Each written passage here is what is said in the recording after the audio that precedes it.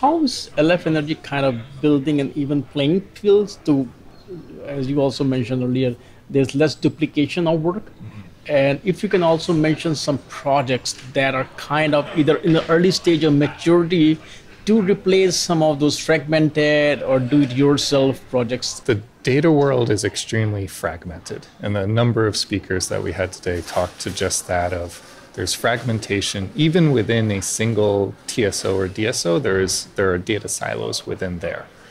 Um, so there are many levels of challenges here. Um, some of the projects that we're working on, um, so TROLIE, uh, which is uh, an open source specification implementing FERC Order 881 around uh, transmission line ratings.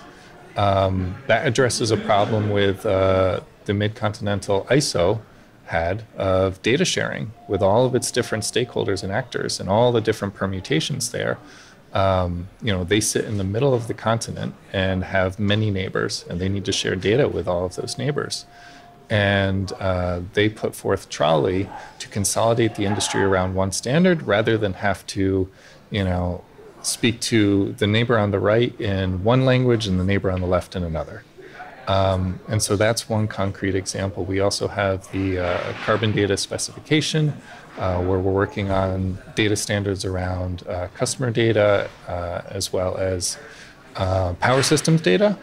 Um, and that's that's more driven on the uh, consumer side of electricity, less so on the utility DSO TSO side. But we're really working hard to get the DSOs, TSOs to buy into that, hopefully solve some problems that they have internally and align all of our efforts to just reduce friction around data sharing overall.